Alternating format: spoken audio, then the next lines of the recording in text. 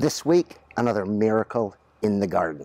Plus, we're going to be planting out some pollinators and I've got a special tip for you beginner gardeners out there. It will save you some money the next time that you go to buy seedlings. So first things first, let me tell you about the miracle.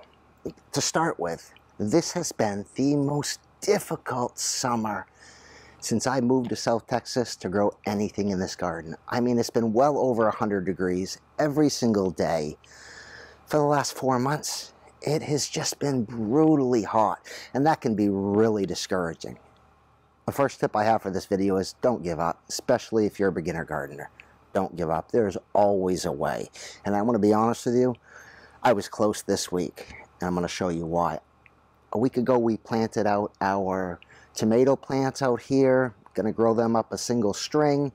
I came out this week, and this is what I found. Oh no. That's not good, guys heartbreaking, right? Absolutely. I knew this was a wilting disease. I knew it wasn't watering because the beds have soaker hoses.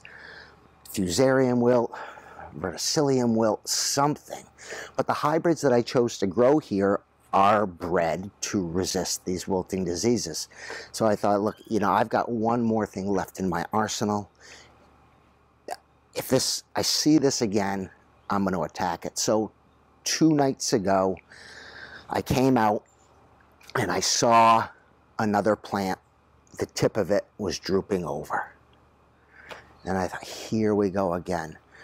What I did was I said, no, I'm not going to accept this. I made up a batch of compost tea. And the recipe is either right here or right there. I don't know where yet because I haven't edited this video, but it's going to be up there somewhere. That batch of compost tea takes 24 hours to make so that I knew, I knew that it was going to get worse. But my intent was at least add some microbes to the soil, get it a little bit more healthy. Maybe it will protect the rest of these plants.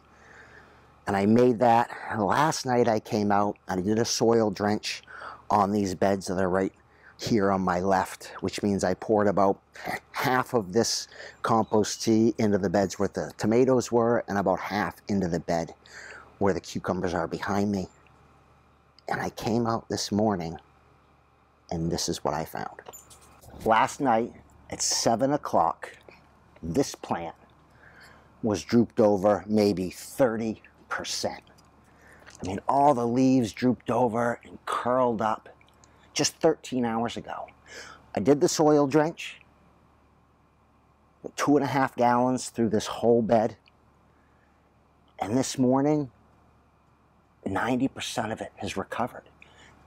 Now, the very tip has not recovered yet, and maybe it won't, and that's okay with me because the valuable lesson I learned here was this compost tea has got to become a regular part of my garden on a weekly or bi-weekly basis. It just has to. I mean, this year already eliminated my problem with cucumber beetles, one of my cucumber beds. I struggled for four years with cucumber beetles in this garden. Ever since I started using compost tea, they're gone. I think that's because the molasses is the main ingredient with the compost in this compost tea, and cucumber beetles don't like molasses, and maybe that's the reason. Nonetheless, they are gone. And this is a problem solved. What a relief. Root knot nematode. Root knot nematode destroys all of your plants in your bed. Ever since I started using the compost tea on my raised beds, no more root knot nematode. And now, this wilting disease, I am absolutely a believer now in this compost tea. So there it is again, or there. If you haven't seen the video, give it a look. It's an easy thing to do. There's a little bit of investment involved, $50 or so for your a good air pump. But I am an absolute believer. This is something we should all be doing in our gardens. Have a look, do your own research, but I'm convinced. Are you girls ready to make a video? All right. I have two tips for the beginner gardener today. I mean, think about that. Let's start with tip number one, and then I'll show you tip number two. We're going to plant these pollinator attracting flowers in my garden today underneath my cucumber plants. I'll do one here. I'll do one on the other end of the bed. But here's a tip for you. Other than doing your research on pollinator attracting flowers, which you should do, Google it, talk to other gardeners in your area. If you find yourself in a big box store, go wander through all of the flowers in that big box store gardening center and look for the bees.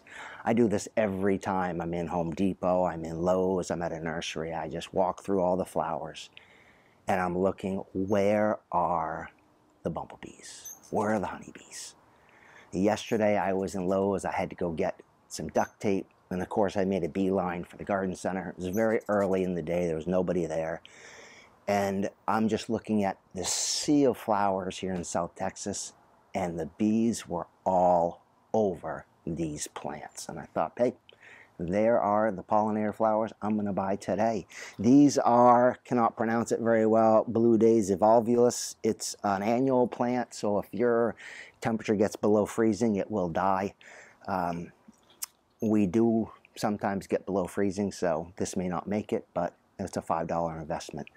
Tip number one for you new gardeners, if you're in a big box store or a nursery and you're looking at the flowers, where are the bees? That's the plant you want. Sun's starting to come out. It's going to be hot again today, but good news is if the weather forecast is correct, we might actually get as low as the mid 90s this week coming up. So, I needed to replace a couple of these tomato plants that died from our wilting disease. So I went to the big box store yesterday, and here's another tip for you. If you have to buy seedlings, always look for seedlings with two growing points coming out of the container. This is basically getting your seedlings at half price because all you need to do now is just separate these seedlings and plant them separately.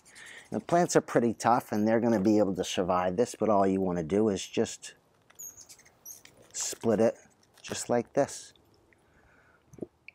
This $4 tomato seedling now has just been reduced to $2. Let's go ahead and put them in.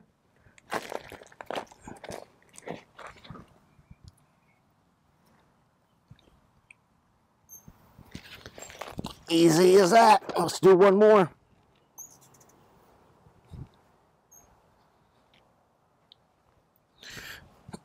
And there we go. Tip number two for you beginner gardeners. If you're going to buy seedlings, look for seedlings that have two growing tips growing out of them, out of the soil buy those because when you get those home, you can separate those and your plants were just cut by 50%. At least the price was. Hey guys, have a great week. See you next weekend.